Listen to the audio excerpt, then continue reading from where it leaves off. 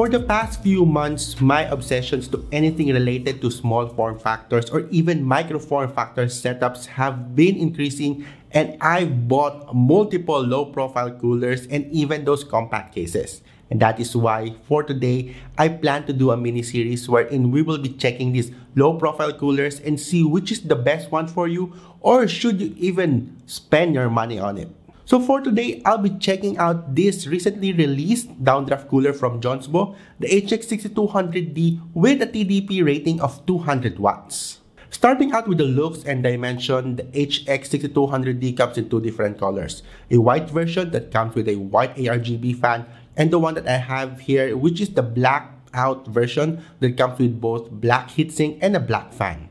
Comparing it to other low-profile coolers, the HX6200D is a little bit taller, measuring 63mm in height and 120mm both in width and length, but it is still much shorter as compared to AMD's Wraith Prism.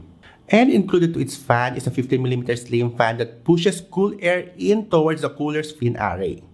Design-wise, I like the black version more, as it fits more on those stealthy-looking compact cases, while build quality in my opinion is pretty superb as it is solidly built together with its really smooth nickel-plated copper base.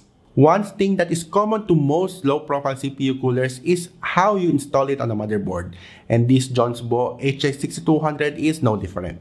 Basically, what you need to do is just install the appropriate bracket, whether you're using an Intel or AMD setup, then flip over and install directly the bolts or nuts that came with the CPU cooler. Pretty straightforward process but I do hope they would include backplates on all platforms not only for added rigidity but at the same time so you can reuse this cooler around to other motherboards as the washers included in this cooler has an adhesive that you can only install once on a motherboard. One trick that I've been doing for my other CPU coolers that uses this the same design is by attaching the adhesive part on the nuts and screws instead of attaching it directly on the motherboard. Compatibility is a mixed bag. I'm happy that this supports Intel's latest LGA 1700, a AMD's AM5 socket, though make sure that the one you're buying comes with the AM5 bracket as there are older models like mine that doesn't have one yet. One thing that is surprisingly and disappointingly missing here are the inclusion of mounting screws for 25mm thick fans. While it's not a deal breaker, I do want an option to swap out my slim fan for a better one like Noctua's A12X25 if ever I want a better and a quieter option. Another thing that you might need to check is the clearance both for your VRM and memory heatsinks. I've tried this on my Gigabyte B450i motherboard and as long as your top VRM heatsink is under 30mm and your memory heatsink is under 45mm, you should be fine. For today's testing, our test setup consists of two scenarios under two fan speed settings. I went with fan speed as opposed to a normalized noise level to also compare the noise level between various coolers when either in 50% or 100% fan speed. Our first test scenario is on a manually clocked Ryzen 5 5600 that is running 4.1 GHz at 1.15 volts.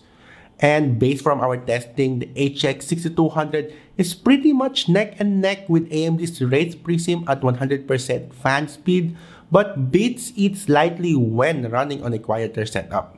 Gaming also sees better temps at 50% fan speed, meaning we could see longer boost clocks with the HX6200.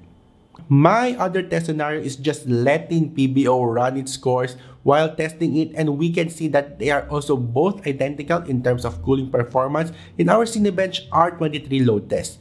And similar to my first test scenario, we are getting better average gaming temps when running our Jonsbo cooler with as much as 5 degrees Celsius difference when running at 100% fan speed. Weirdly enough, temps reached as high as 85 degrees Celsius despite only pulling 120 watts of CPU package power. I am quite doubtful that this thing can even sustain a consistent 150 watt pull from the CPU.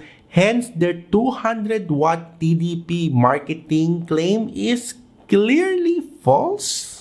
Fan noise, on the other hand, is a clear winner for the Jonsbo HX6200D as this one uses a much wider 120mm fan as compared to AMD's Wraith Prism 92mm fan. with a 41 dBA ambient noise. The Jonsbo got a 43 dBA against 45 dBA on 50% fan speed, while a 3 dBA difference went on max speed. There is also a noticeable difference in the perceived sound as the Jonsbo cooler is still on the manageable side even at full speed. At the end of the day, the Jonsbo HX6200D retails at 2,200 Philippine peso over at Lazada or that is roughly around 40 US dollars. And I am having a hard time recommending this one given that it's just performing closely against a stock AMD cooler, albeit it's the best one. But again, if you're opting for the HX6200D, you'll get these following advantages. First, of course, you'll get better case compatibility as this cooler is much shorter than AMD's Wraith Prism. Second, you'll get a quieter experience compared to both AMD and Intel stock fan. And finally, if you're still keen on the aesthetics department, then you might want this, especially the blacked out design of the HX6200D.